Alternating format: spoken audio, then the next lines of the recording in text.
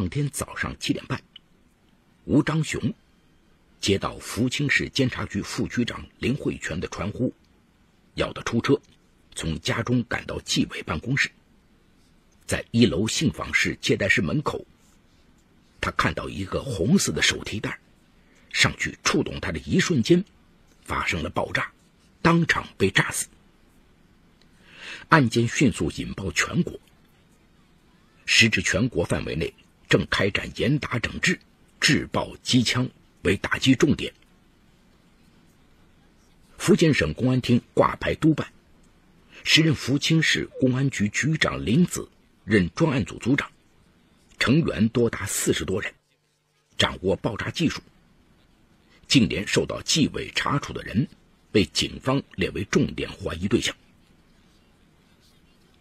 九月十三号早上，陈科云正准备去公司上班时，在家门口被警方带走。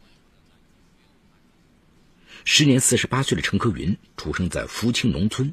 曾在四川铁道兵部队从事新闻摄影报道工作，后在中央广播电视大学学了四年法律专业。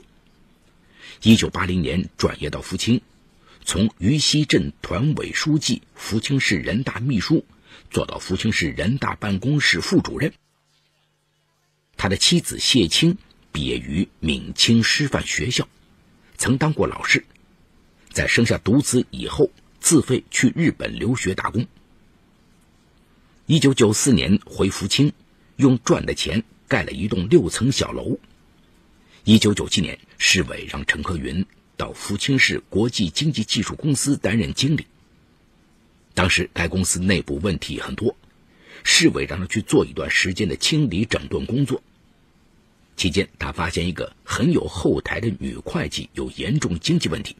向市委及纪检部门反映，要求查处。对方转而反映他买车超标、私分公款等问题。二零零一年六月四号，陈科云受到纪委党内严重警告处分，但他对这一处分有不同意见。案发前，市委主要领导找了谈话，准备让他就任市监察局副局长。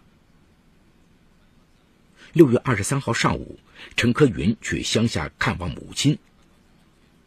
下午五点多，他回到家里，妻子谢青正在一位领导家打麻将。当晚八点多，飞燕台风登陆，暴雨倾盆。十一点多，妻子让他骑摩托车去接他，他见窗帘被风刮下来，窗玻璃摔起破碎，客厅里有水，就先收拾了一番。妻子也从离得不远的领导家步行回来，两人收拾到凌晨一点多才上床休息。爆炸案发生后，警方找他了解案发前夜的动向。陈科云怕妻子打麻将的事会影响那位领导，于是没有说实话，称他和妻子在家看电视。回家后，他叮嘱妻子，有人询问也这么说。六月二十七号，陈克云发现司机吴长龙和车子都不见踪影，他的姐姐吴华英也联系不上他，而他在十月一号国庆节就要跟女友举行婚礼，怀疑吴长龙被人绑架。陈克云连夜发动公司员工到公路沿线寻找，第二天还在福清电视台播出了寻人启事，吴华英报了警。几天后，陈克云才找人打听到警方正找吴长龙了解跟爆炸案有关的情况。原来恨他的那个女会计向警方举报爆炸案是他制造的。很快，公司男秘书也被传去问话。陈克云这才意识到，这一切可能都是针对他的。九幺幺发生后，有人称六二四爆炸案也是恐怖事件。福清警方加大了侦讯力度。九月十三号早上，几个便衣警察把陈科云带上警车，关押到一处秘密地点。他意识到事情严重，坦陈了案发前夜妻子在领导家打麻将，他从乡下回来再没外出的事实。办案人员用手铐脚镣把他紧紧的铐起来，并强行脱掉他身上的皮带、皮鞋，叫他坐在椅子上。一个负责人对他说：“经我们查明，爆炸案是你干的，你必须全部如实交代。反正你这次是死定了，你还是尽早说，免得受皮肉之苦。我们对你有办法，看你能硬多久。从九月十四号下午到九月十六号，陈科云仍然是这样被手铐、脚铐紧靠着坐在椅子上。刑警队员不许他睡觉，稍一闭眼就对着拳打脚踢。他始终坚称没有作案。被警方抓走的吴长龙同样受到刑讯逼供。九月十八号，他终于支撑不住，做了一份有罪供述，交代受陈科云指使。曾向包括前姐夫杜杰生在内的几人购买炸药。三天后，专案组将杜杰生带走。九月二十二号深夜，陈克云被用黑布罩头、胶布封嘴，带到市公安局刑警队。戴手铐的双手被粗绳子绑着，双脚离地的吊在窗户特制的粗大铁杆上。凌晨三四点。在半昏迷中，他忍不住编造谎言，乱说一通。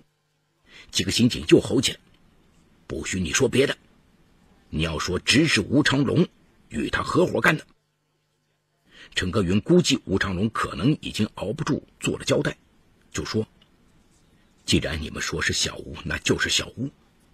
具体的怎么买、怎么干，我不清楚。”到九月二十五号，已两天没吃东西、处在昏迷状态中的他被放下来。两个刑警抓住他的大拇指，在他之前胡乱编造的笔录上按了手印。陈克云此时最思念的是亲人，根本不知道，就在他被抓走的当天下午，他的妻子谢青也被警方带走。他说，案发前夜和丈夫在家看电视，因涉嫌伪证罪被拘留。十月二十二号。受不了刑讯逼供的杜杰生编造从几人手中购买了炸药，警方随即抓捕了从江西来福建打工的谭敏华，并刑讯逼供。十一月三十号，福清市公安局对陈科云、吴长龙、杜杰生、谭敏华、王小刚、谢青等人发出逮捕证。警方高调宣布破案，召开庆功会，奖励举报人十万元。二零零二年六月，时任福州市政法委书记的宋立成下令，让福州市人民检察院将此案交法院审理。十一月二十八号，福州市中院第一次开庭，庭上陈科云、吴长龙等五被告人集体喊冤，律师一致做无罪辩护，审判遂成僵局。谁知二零零三年初。此案专案组组长、时任福清市公安局局长林子因涉黑落马，福清市公安局领导班子调整。二零零三年三月，福清警方从四川抓回涉嫌提供电雷管的王小刚，警方没有沿用六二四专案组刑讯逼供的做法，王小刚也未做任何有罪供述。陈克云的母亲病了近两年。临终前叮嘱家人，一定要把儿子媳妇救出来。老人抓着孙子的手，颤抖着说：“孙子，你爸爸妈妈还没回来，你要争气，不然奶奶死不瞑目。”二零零三年农历七月初一，老人含恨离世。陈科云被关在福州看守所，他写明信片问大哥母亲身体怎么样。大哥回信绝口不提母亲，他立刻什么都明白了。不能给母亲尽孝送终，愧为人子，他眼泪几乎流干。此时，陈明已进入找工作阶段，公务员不能考，工作找不到，只能到私人装修公司打工，每天干着最累最脏的活精神上更背负着巨大的屈辱。二零零三年底。继原福州市政法委书记吴文达因卖官落马后，其继任者曾干预此案的原福州市政法委书记宋立成也因贪腐落马。二零零四年十一月，福州市中院首次开庭审理六二四爆炸案，检方指控福清市纪委根据福清市国际经济技术合作公司会计的举报，对陈科云。私分公款等问题立案查处，并于二零零一年五月决定给予其党内严重警告处分。陈科云不服处分决定而产生怨恨。被告人吴昌龙也因修车报销等问题与会计产生矛盾，于是两被告人便密谋实施爆炸进行报复。二零零一年五月，经陈科云授意，吴昌龙以炸鱼为名。向杜杰生提出为其购买炸药和雷管，杜杰生向谭敏华购买了两桶炸药和两枚雷管等物，后吴长龙向杜杰生取回上述爆炸物。陈科云、吴长龙又进行密谋，陈科云提出用电雷管引爆，吴长龙又要求杜杰生为其购置电雷管，杜杰生在福州向王小刚购买了两枚电雷管。吴长龙、陈科云获得上述爆炸物后，在陈科云家共同制造爆炸装置。先制造一爆炸物，由吴长龙带到东张水库试爆成功，再制造了另一爆炸装置。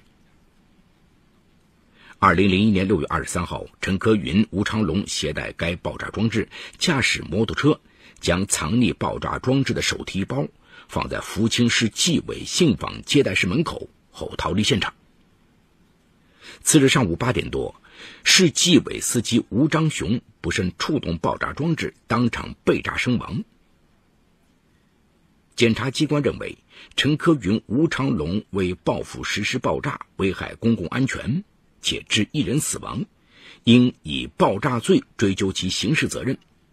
杜杰生、谭敏华非法买卖爆炸物，情节严重，应以非法买卖爆炸物罪追究其刑事责任。谢青在刑事侦查中故意做虚假证明，帮助陈科云逃避法律制裁，应以伪证罪追究其刑事责任。法庭上，陈科云、吴长龙等都辩称自己没有实施爆炸犯罪和买卖炸药等，所做的有罪供述均为刑讯逼供所致。谢青辩称自己没有做伪证，不构成伪证罪。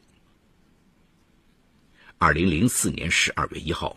此案一审宣判，陈科云和吴长龙被判处死缓，杜杰生和谭敏华被判处十年有期徒刑，谢青因伪证罪被判处三年有期徒刑，而涉嫌提供爆炸案最重要材料电雷管的王小刚则被无罪释放。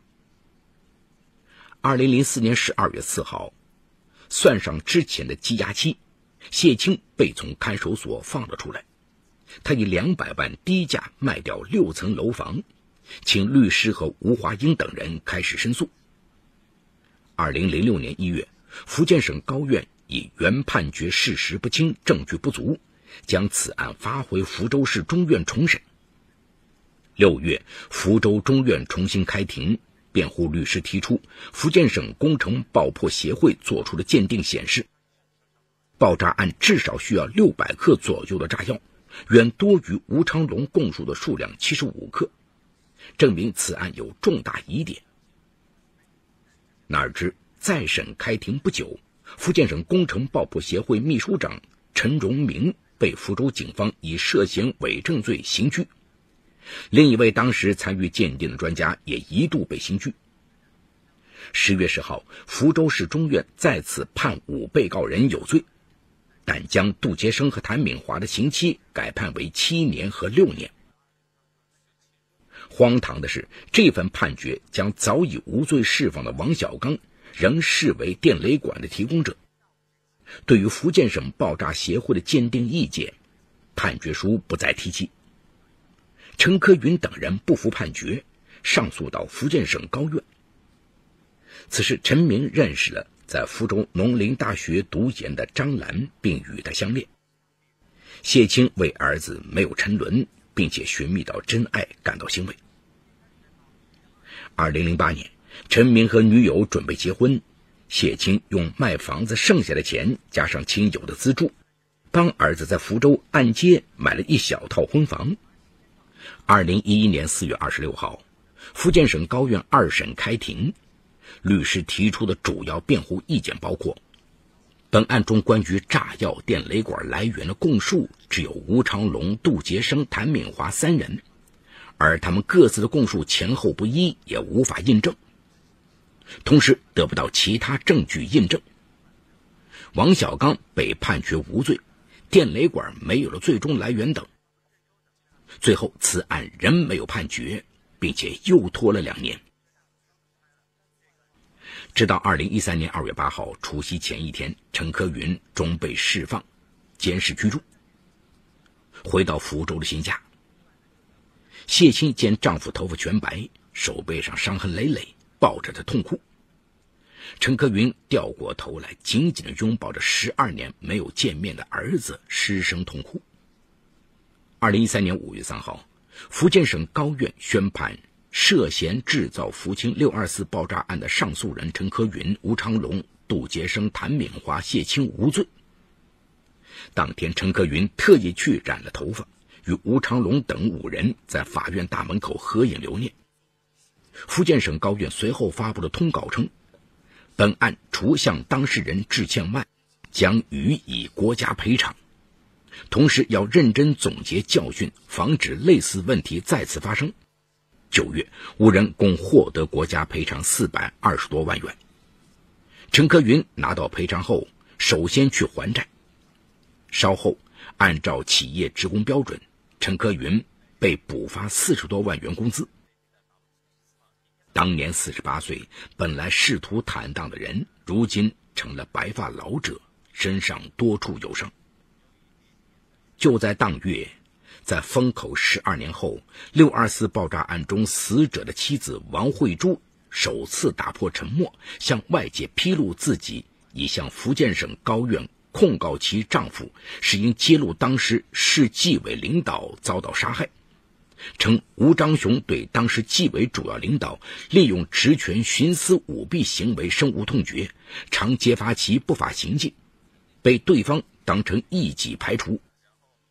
案发当天早上七点半，吴章雄接到那个监察局副局长的传呼，通知他出车上班。他刚到纪委办公楼，就发生了爆炸案。第二天，王慧珠在太平间抱着丈夫的尸体痛哭时，这个副局长跑来，偷偷的对他说：“如果今天省厅有人下来问你话，谁叫吴章雄来单位上班的，你就说不知道是哪个叫的。”更不要说以前吴章雄与谁有纠纷过，你都要说不知道。他还指那个副局长为毁灭罪证，利用职权从公安机关领出其丈夫的传呼机，并扣住不放。对方还许诺给他安排工作，等他儿子大学毕业后安排到纪委工作以及优厚赔偿，他才一直封口。可今年儿子大学毕业，对方却没有遵守承诺。他愤而向省高院提出控告，要求依法追究原纪委主要领导以及这个监察局副局长故意杀人罪、窝藏包庇罪和报复陷害罪，并赔偿其丈夫吴章雄的死亡赔偿金及亲属赡养金等。二零一四年五月一号，吴长龙在福清东张镇和一个女孩结婚，陈科云和律师林洪南特意前去参加婚礼。包了红包，陈科云在婚礼上动情地说：“灾难过去了，我们都要争取活得好一点。如今吴长龙的妻子也怀孕。十二年间，这起蹊跷的爆炸案就像一个要吞噬一切的黑洞，然而他最终没能毁掉一切。所幸还有许多法律人坚持了正义。陈科云和家人在屈辱和逆境中也终于挺了过来。”如今，陈克云仍在强烈要求缉拿真凶，并对造成冤案的办案人和诬告者追责，要求按照公务员标准补发其工资和当年卖房造成的经济损失。好，故事说到这儿就告一段落。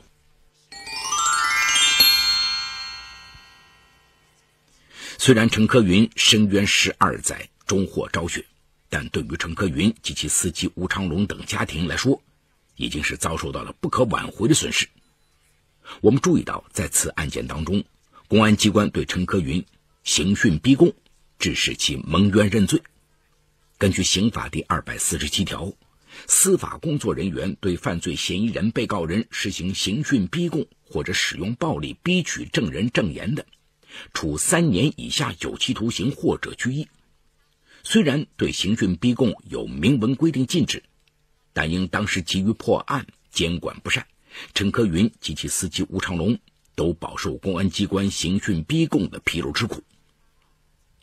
二零零三年初，福清市公安局长因涉黑落马；零三年底，福州市政法委书记落马。几位重量级官员的落马，对于陈科云来说是天大的福音，陈科云的冤案也得以肃清。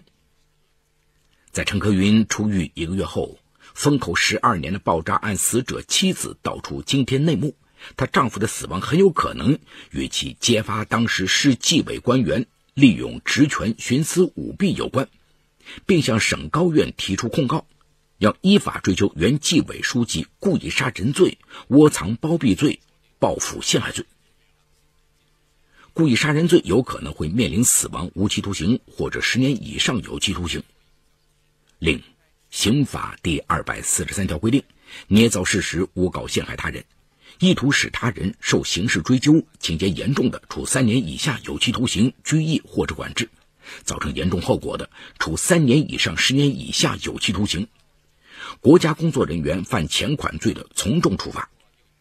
如果查明当时官员确有如此行为，他们面临的将是刑法的惩罚。官员谋求仕途顺利本是无可厚非的，但有一些官员却为了钱财抛弃了做人的基本道德准则。权财虽好，但也要告诫为官者：善恶终有报，切莫为了一时的权利而丧失了做人。